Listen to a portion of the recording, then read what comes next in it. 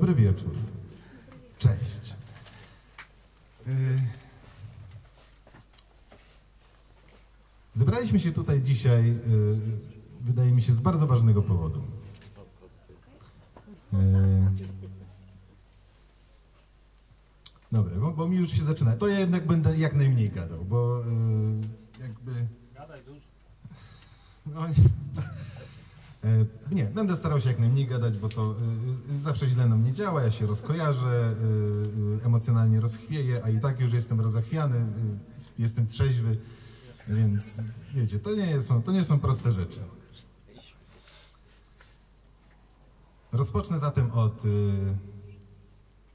melodii Romana, którą napisał do tekstu Edwarda Stachury, Dolina w długich cieniach.